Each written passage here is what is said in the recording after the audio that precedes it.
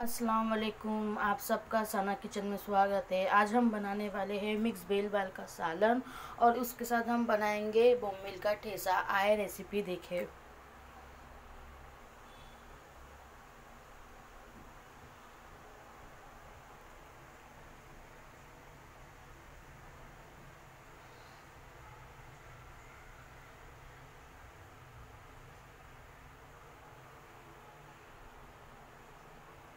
हमने इसे पानी में बॉईल किया है और बोमिल को हमने इसे भिगो के रखा है। इसे हम ग्राइंडर में दड़ दड़ा पीसेंगे।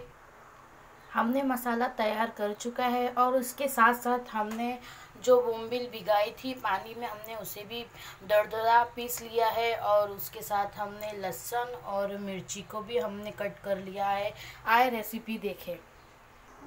अब हम इसमें डालेंगे पाँच चमचे ऑयल के। ऑयल गरम हो चुका है, अब हम इसमें डालेंगे अदरक लहसुन का पेस्ट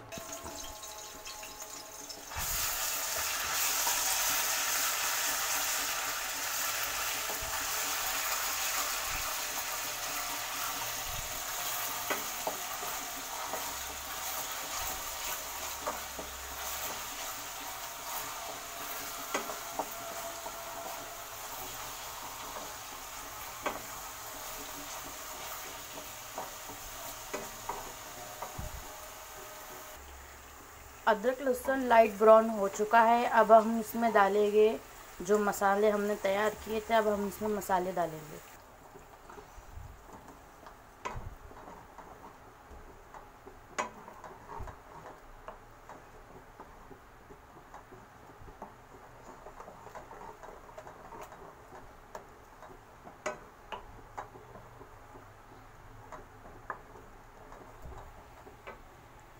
अब हम इसे दो मिनट तक भूनेंगे ताकि इसमें से ऑनियन की कच्ची बास निकल जाए। इसे हम फास्ट पे रख के भुनेंगे।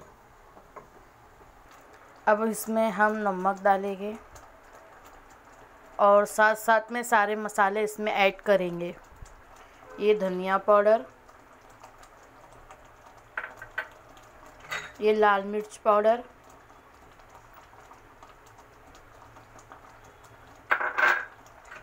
ये हल्दी पाउडर और ये गरम मसाला होममेड गरम मसाला। अब हम इसे अच्छी तरह चलाएँगे।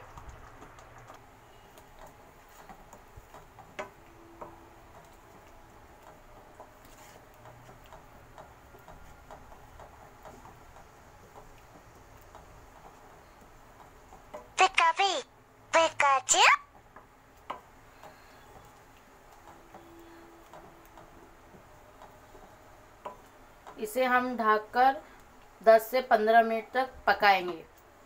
आइए हम इसके साथ साथ बोमिल का ठेसा भी बनाएँगे। हमने एक पैन लिया है, उसमें हमने तीन चम्मच ऑयल डाला है। अब हम इसमें एक टीस्पून डालेंगे ज़ीरा। ज़ीरा हमारा हल्का सी लाल हो चुका है। अब हम इसमें डालेंगे लहसुन।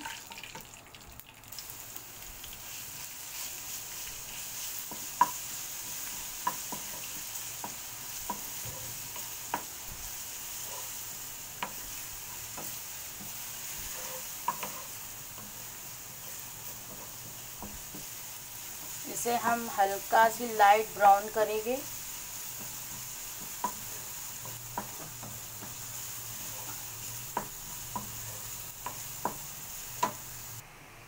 हल्का ब्राउन ये हो चुका है। अब हम इसमें डालेंगे हरी मिर्च।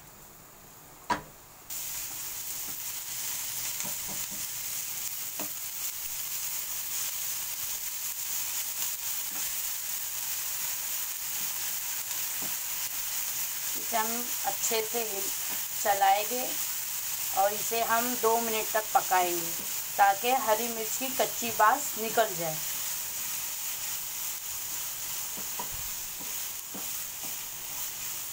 और हम इसमें एक टीस्पून नमक डालेंगे।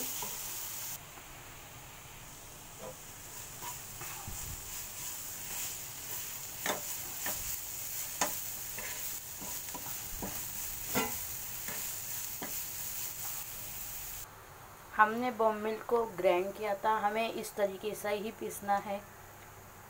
ज़्यादा बारीक नहीं, ज़्यादा मोटा नहीं मीडियम अब हम इस, इसको अब हम डालेंगे। इसे अच्छी तरह से मिक्स करेंगे।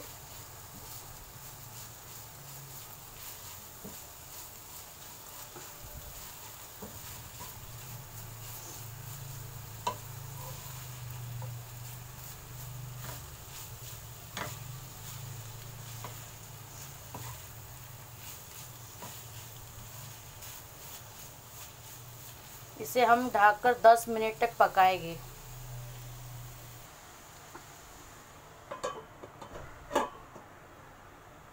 आइए हम अपनी ग्रेवी देखते हैं।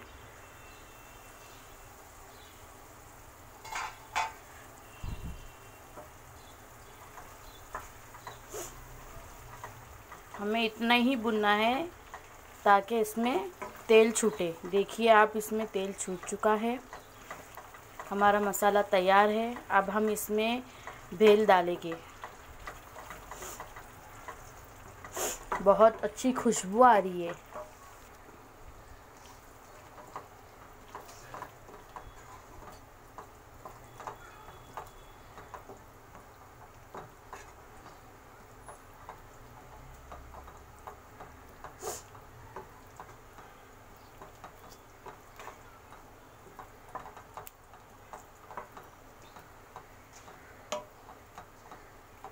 अब हम इसमें फ्रेश क्रीम डालेंगे, दो टीस्पून हमने इसमें दो टीस्पून क्रीम ऐड किया है।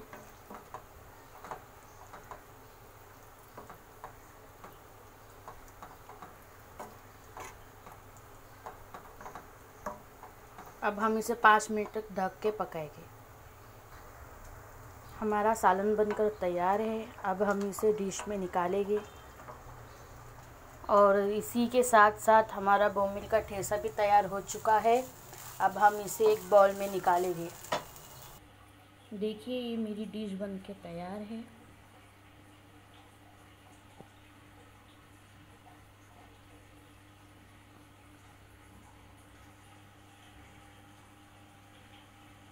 आपको मेरी रेसिपी कैसी लगी, प्लीज़ आप मुझे कमेंट करिए शेयर करिए और ज़्यादा से ज़्यादा सब्सक्राइब करिए।